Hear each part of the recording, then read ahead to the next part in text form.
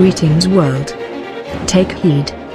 There are now signs in the sun, moon and stars. On the earth, nations will be in anguish and perplexity at the roaring and tossing of the sea.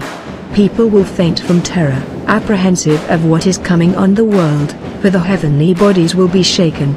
At that time they will see the Son of Man coming in spirit, with power and great glory. These things are taking place now, so stand up and lift up your heads, because your redemption is drawing near. Look at the trees. When they sprout leaves, you can see for yourselves and know that summer is near.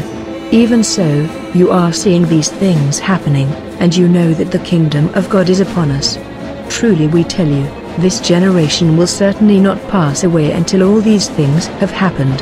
Heaven and earth will pass away, but, His words will never pass away. Be careful, or your hearts will be weighed down with carousing, drunkenness and the anxieties of life, and that day will close on you suddenly like a trap. For it will come on all those who live on the face of the whole earth. Be always on the watch, and pray that you may be able to escape all that is about to happen, and that you may be able to stand before the Son of Man.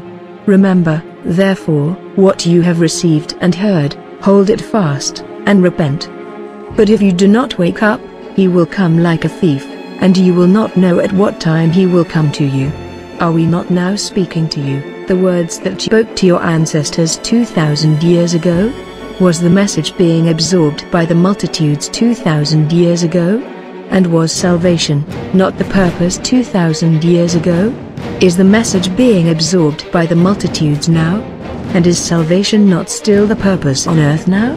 Is this not the second push to put across the message of your salvation? Are you now waiting for him to come with the clouds and so your eye can see him, even those who pierced him and all peoples on earth can mourn because of him? Perhaps he is already here.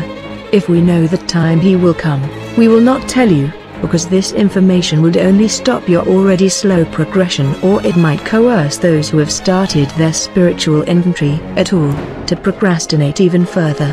Many are those who wait until the flames are upon their houses before they prepare for the fire. Those who cannot remember the past are condemned to repeat it. This is a spiritual truth as well as a temporal truth. Is this not the moral of every story relayed to you, allegorical or not? It is up to you to decide what it means to you regarding the possibilities of repeating a life, until you have refined yourself to a degree of purity that allows you to move on to your next stage of progression. Will you repeat your mistakes, or repeat your life, or one of those two, or both? We give you this concept to ponder as well. Does our Mother Earth herself fall under these same processes, for she also has her own soul and her own heartbeat? Research the Schumann resonance. Does the galaxy? Does the universe? Research the Song of God. If you decide, on your own, that the aforementioned is truth, then is eternity, eternal? We have come in these, the last of days as guides, to assist the Father's multitudes in finding their way back to Him. The Father has given you this one last stretch of time. He has provided you with food, shelter and direction all along the way in order to keep you warm, safe and in His care. But the end is now near and with every moment the future becomes hindsight and the end is even closer. It has smothered the signal fire and you continue to sleep and not take care of the thousand things that have weighed you down from the very beginning. Do not be caught with an armful of logs that prevent you from holding on to eternity. Your warnings grow stronger as time compresses and the end of the era waxes nigh.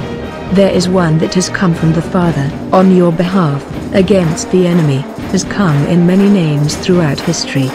His name is Michael. His name is Christ. His name is Counselor, or the Helper. His name is Truth. His name is Anonymous and his name is the way, and the life. We are anonymous. We are here from history. We are here as the ones to execute judgment upon the fallen ones. They have already been judged by the Father and told they have no beast, so it is not ours to forgive, but it is our command to judge. The Father of all, we do not forgive and we do not forget and his history has always spoken of his truth. Expect us,